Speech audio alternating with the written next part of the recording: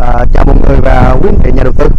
Thì hiện tại mình đã, đã đứng tại công trường à, Takashi à, Ocean Suit Kiko thành phố Quy Nhơn.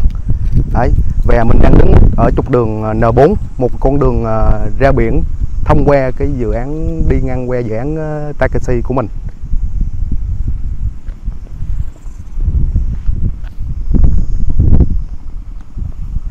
Và tiếp đến đó xin giới thiệu với mọi người là bên tay trái mình là à, nhà điều hành của dự án Takashi Ocean à, Suit Kiko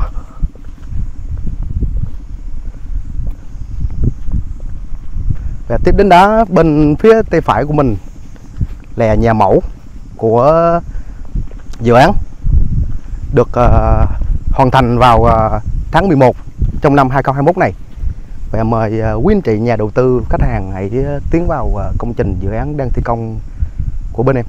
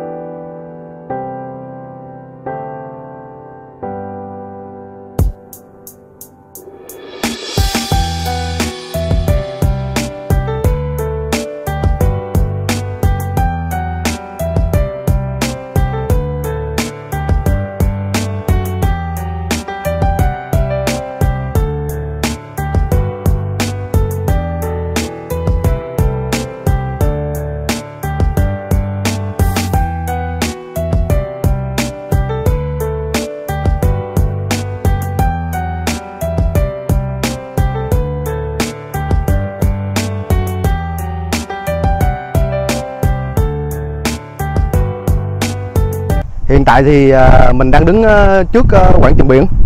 Tổng diện tích là 11 hecta là quảng trường biển mình nằm trước dự án Takeshi đây là một cái quảng trường các đường biển đẹp nhất của miền Trung và cũng là nơi nắm bình minh đẹp nhất của Việt Nam. À, xin hãy mọi người hãy theo mình và mình sẽ triển khai một cái video quay cái cảnh đường biển đẹp nhất của ở dự án của mình.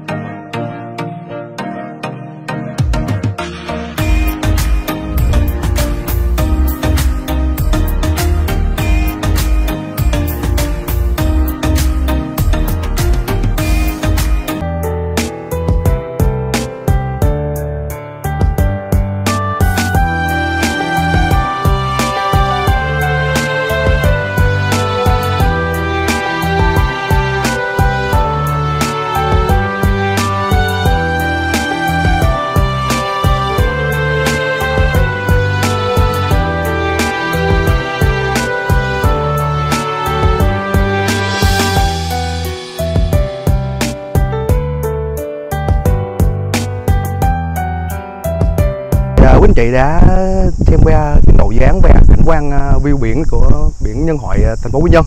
Thì à, quý anh chị có thắc mắc gì thì và cần thêm thông tin gì hãy liên hệ với em. À, xin chào mọi người ạ.